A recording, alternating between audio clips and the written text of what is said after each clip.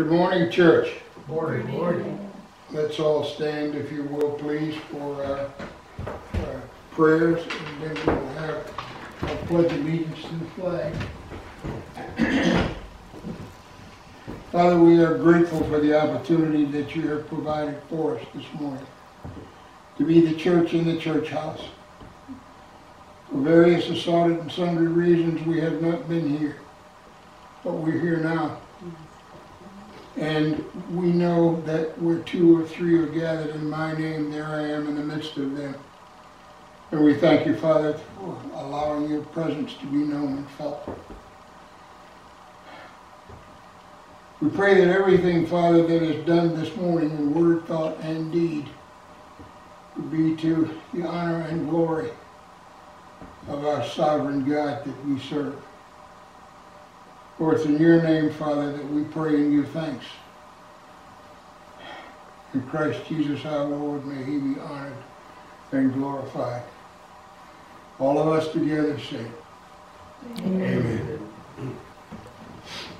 I pledge allegiance to the flag of the United States of America and to the republic for which it stands, one nation, under God, indivisible, with liberty and justice for all. Thank you. Are you playing this morning? Uh, I shall endeavor. Uh, Well, you We'll see did how this works out over here. It's gonna work out. Let's try Blessed Assurance, 285.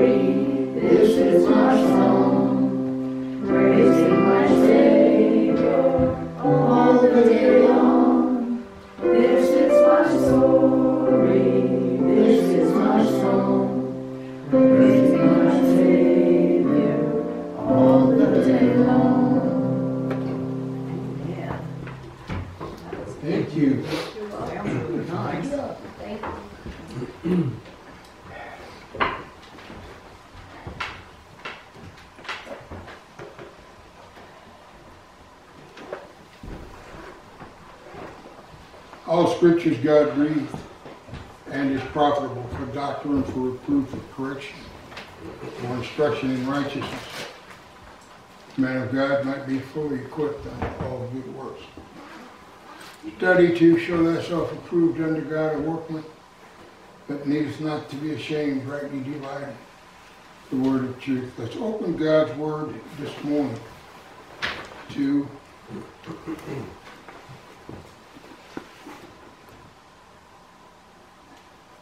um,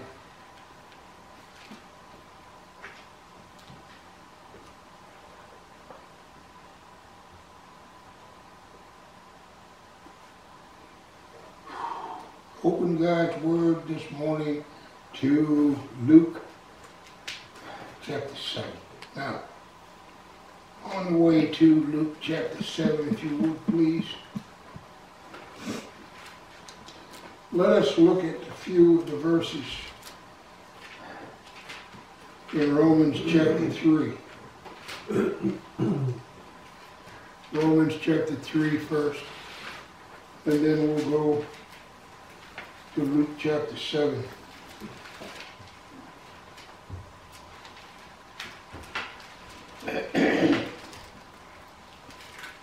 Romans chapter 3. Let's take a few moments, if you will, please, just to clear our hearts and our minds, and uh, so that we can concentrate on God's inerrant word. Let's bow together just a little bit. Father, you have provided for us the privilege and the honor for us to gather here in the church house. You've also provided us with your inerrant immutable word. And as we look to your word this morning, we pray enlightenment. We pray that you would teach us and show us that you would enable us, Father, to, to glean from your word, whatever it is, that you would have, have us absorb and retain. We pray that God, the Holy Spirit, will teach us and show us. Enable us to be used as the earthen vessels that continuously we would reflect, not who and what we are, but who and what you are. All of this, Father, we ask in the powerful, matchless name of our Lord, Savior, and Redeemer, Jesus Christ, that he might be honored and glorified. All of us together say it.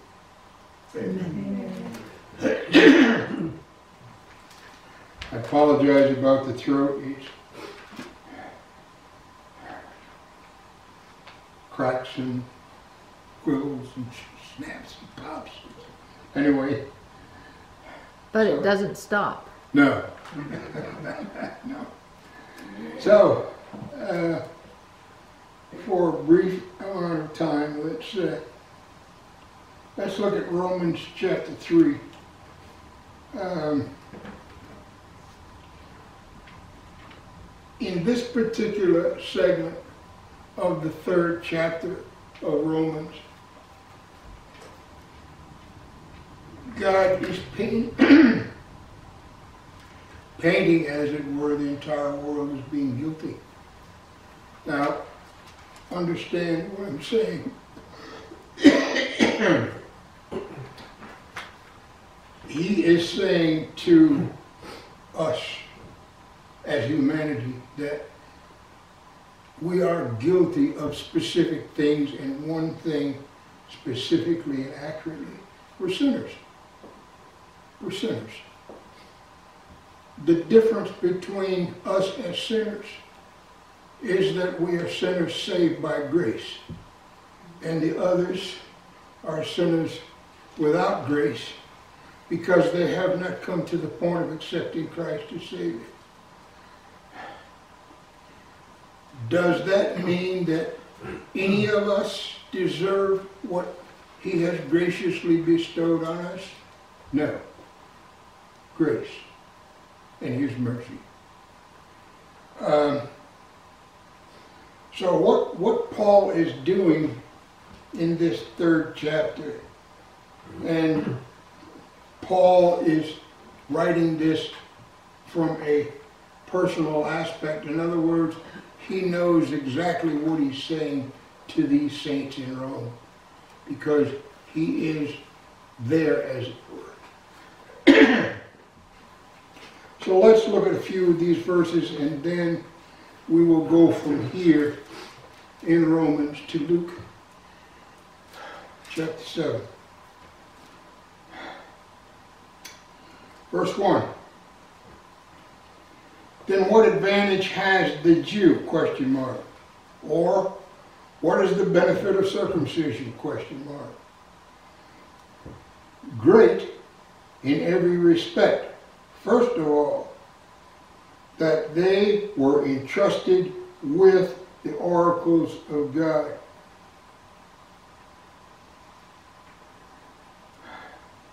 What then? If some did not believe, their unbelief will not nullify the faithfulness of God, will it? Question mark. No, it will not. Because the grace and mercy of our sovereign God does not depend on us. We are the recipients. He is the creator. And everything that he bestows on us we neither earn nor we deserve. And that's grace. May it never be, rather. Let God be found true, though every man be found a liar, as it is written, that you may be justified in your words, and availed and prevailed when you are judged. There will come a time when every single human being on the face of this planet will be judged according to our deeds.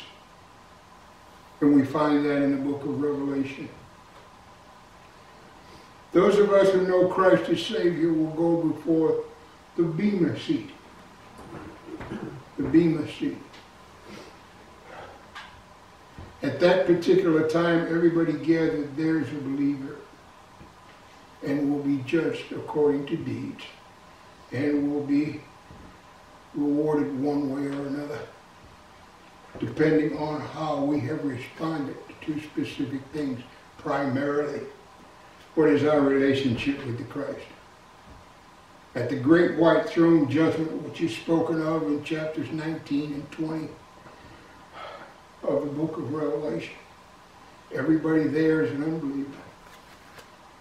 They will be judged, and the books, plural, will be opened, and the book of life will be opened. The book of life will be opened, and the judgment, the one who is absolutely perfect to judge, will be Christ Jesus our Lord, and he will do the judging. So Paul goes on to say, but if our unrighteousnesses are demonstrate the righteousness of God, what shall we say? The God who inflicts wrath is not unjust, unrighteous, is he? No. May it never be. For otherwise, how will God judge the world? Verse 7. But if through my lie the truth of God abounded to his glory, why am I also still being judged as a sinner? Why? And why not say, as we are slanderedly reported, and as some claim that we say, let us do evil that good may come. Their condemnation is just. What then? Verse 9. Are we better than they? Not at all. For we have already charged that both Jews and Gentiles are under sin, as it, in, as it is written, there is none righteous, not even one. There is none who understands.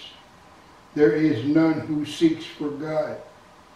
All have turned away, turned aside together.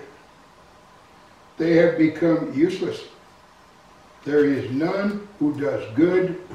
There is none, not even one.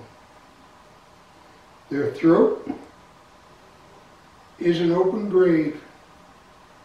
When their tongue, with their tongues, they keep deceiving. The poison of asps is under their lips, whose mouth is full of cursing and bitterness. Their feet are swift to shed blood. Destruction and misery are in their paths, and the paths of peace they have not known. so Paul is not only speaking to both Jews and Gentiles, he is speaking to all of us as the human race. We need only to think back in our lives before we were saved, before we knew Christ Jesus as Lord and Savior. And then everything he has said thus far comes to mind. The difference is we no longer approach our lives from this perspective, but we approach our lives because of what Christ Jesus has done for us. Mm-hmm. And we begin to realize there, but for the grace of God go we and I. Now,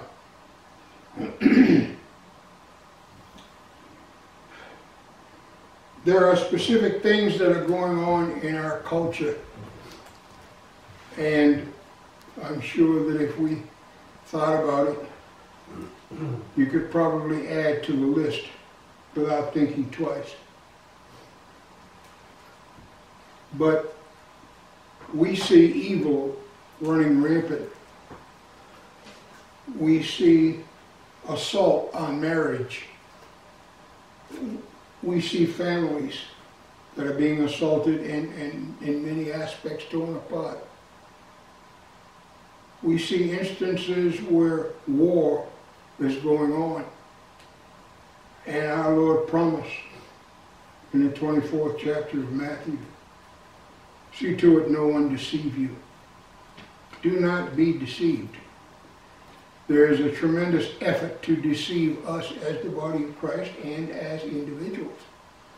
If you think that's not so, the next time you're standing in a cashier's line before you leave, say to the cashier, God bless you, and watch the reaction. You will either get one or the other. A genuine response or a very weird look. So, be aware. That's where we are, It's- that's where we are, as far as our culture is concerned. So how do we react to that as the body of Christ? We're told in God's inerrant word, pray, stay focused. Know that there are specific things that are going on in our world that are earmarked, deception, depravity, falling away, destroy, steal,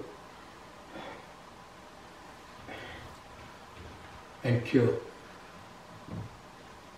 We know that that's, that's Satan's method of operation. And we are aware of that. As far as we are concerned, our directions are to pray for each other continuously, to know exactly where we are as far as this time is concerned. To understand and realize that prophetically, the church age is ticking. Nothing needs to transpire for Christ Jesus to come for his church. except to sound the trumpet, echo the words, and watch all of us one at a time disappear. It's called the rapture, and it's coming. And we need to be aware of that. As far as the second advent or the second coming is concerned, there are multitudes of signs. Let me just give you two or three. For example, Israel is in the homeland.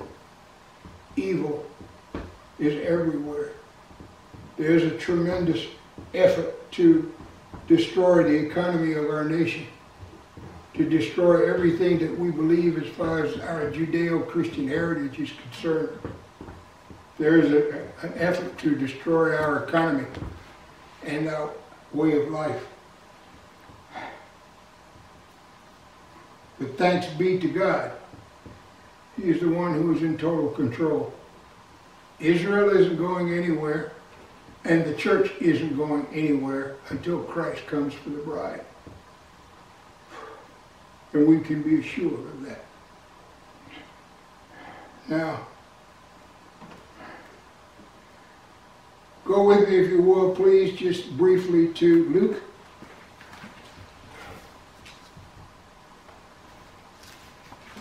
Chapter 7. Luke chapter 7, verse 36. Now, what's going on here? Well, there are a couple of things in this passage that I want us to see. And as we go through it, we'll, we'll do what we, what we normally do. We'll kind of pick it apart and put pieces together. Now, in verse 36, um,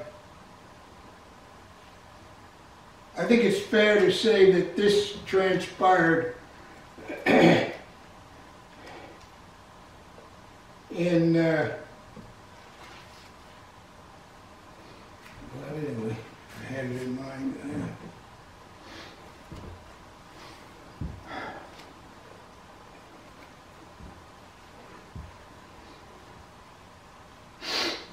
This was an individual who invited Jesus to dinner. And I think without a doubt the individual had an ulterior motive. This was a Pharisee, and I'll, I'll tell you what Pharisees are here. Um,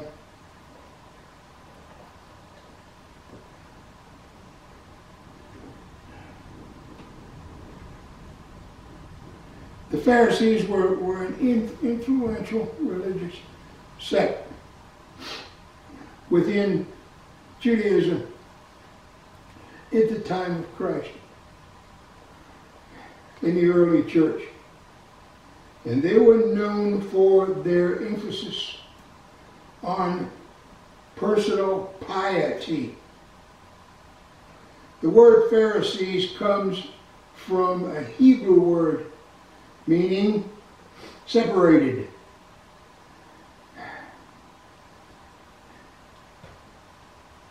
Their acceptance of oral uh, traditions in addition to the written law. And their teaching that all Jews should observe all 600 plus laws in the Torah, including the rituals occurring ceremoniously and purification. The Pharisees were mostly middle class businessmen and leaders of the, the uh, synagogue. Though they were a minority in the Sanhedrin and held a minority number of positions as priests, they seemed to control the decision making of the Sanhedrin. Why? Because they had popular support among the people. So this particular individual was named Simon. And Simon had an ulterior motive. He invited Jesus to dinner. His ulterior motive was to see if he could somehow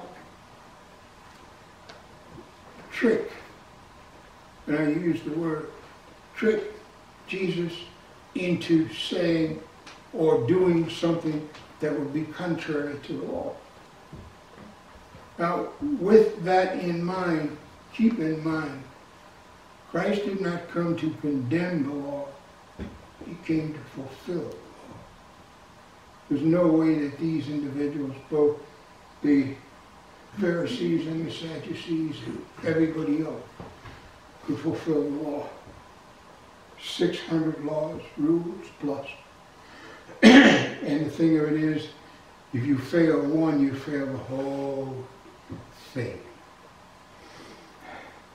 With that in mind, this particular incident transpired as near as we can tell approximately one year or better before the Passover, which occurred at the time of, excuse me, at the time of Christ going to the cross. Mm-hmm. So we're talking a couple of different incidences here. And I wanted you to know that. Again, I apologize for the voice. excuse me. Starting at verse 36. Now one of the Pharisees was requesting him, Christ, to dine with him. And he entered the Pharisee's house, Christ, and reclined at the table. Now, the table was almost on the floor. And to recline were, were recliners or cushions or sofas. So everybody was around the table. And in the middle of where they were reclining was the food. so, verse 37. And there was a woman in the city who was a sinner. Okay? And when she learned that he, Christ, was reclining at the, at the table in the Pharisee's house, she brought an alabaster vial of perfume. Verse 38. And standing behind him, Christ, at his feet, weeping, she began to wet his feet with her tears. I'm going to stop right there. Why is this different from a normal custom to invite a person to your house for dining purposes? First of all, you are the host. When a guest comes into your house, you provide something or someone that would clean their feet because the roads were dusty and muddy. But as far as uh, really anointing and doing, uh, this was an act on her part of honoring the individual that she knew was the Christ. She was actually a year in advance anointing him for burial. It was her way of, of saying, being appreciative as it were. Now, with that in mind, how often do we spend time, regardless of how much time it is, how often do we take the time to actually, in our own minds, in a quiet place, to thank God for our soul, soul's great salvation? To actually concentrate and focus on the fact that we are who and what we are as believers in the body of Christ, not because we earn it or deserve it. All have sinned. All have sinned and come short of the glory of God.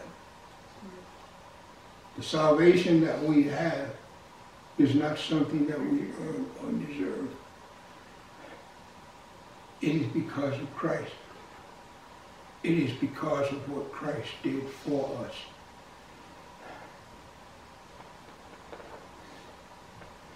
Now let me read on.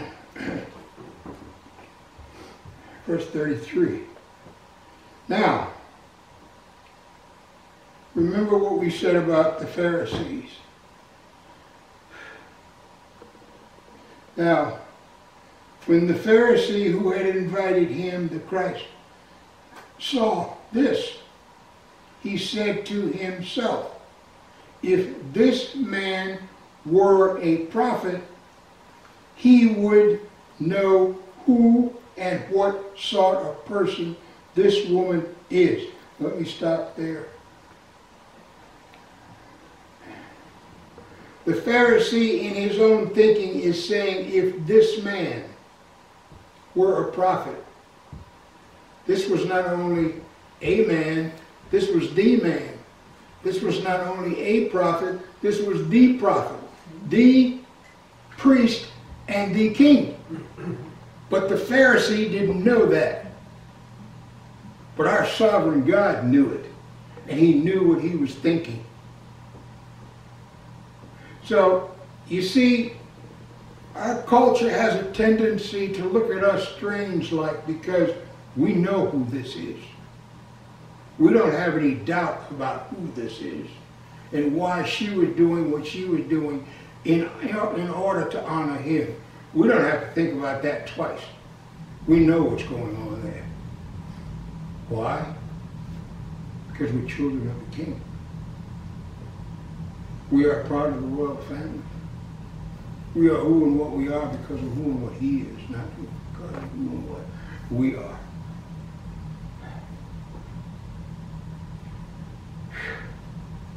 So, type of woman, eh? Well, he knew exactly who she was and why she was there. And as only as he could do, he said to her, Your sins are forgiven. Your sins are forgiven. Sound familiar? It should. Because our sins are forgiven.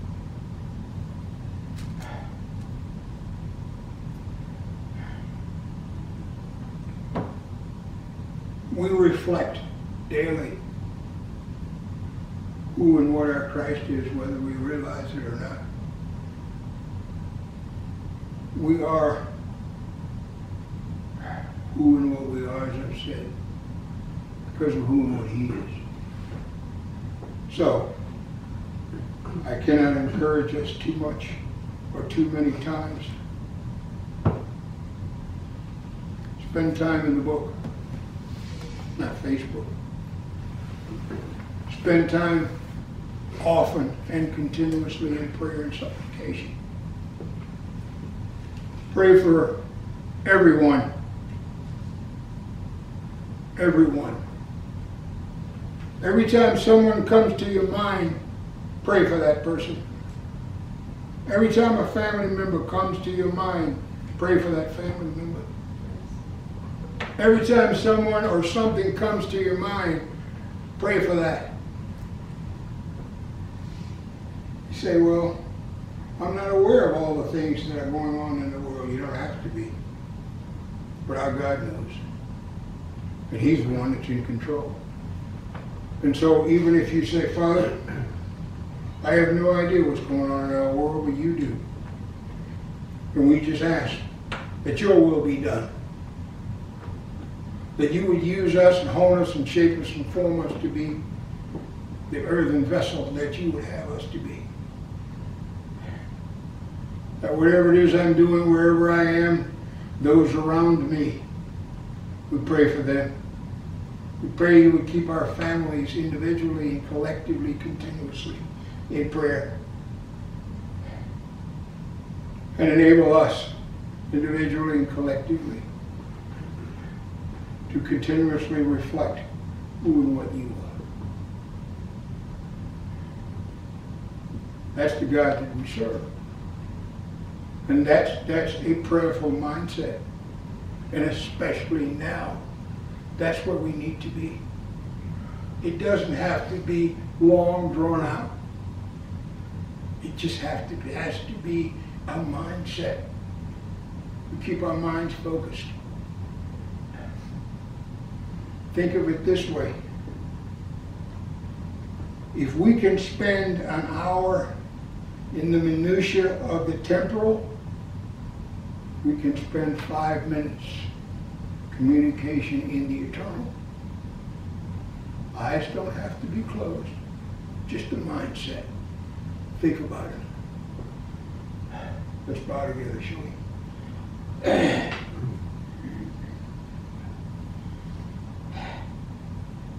Father, we thank you for the privilege that you have provided for us together in the church house. We thank you for the opportunity that you have provided for us to look into your inerrant and immutable word.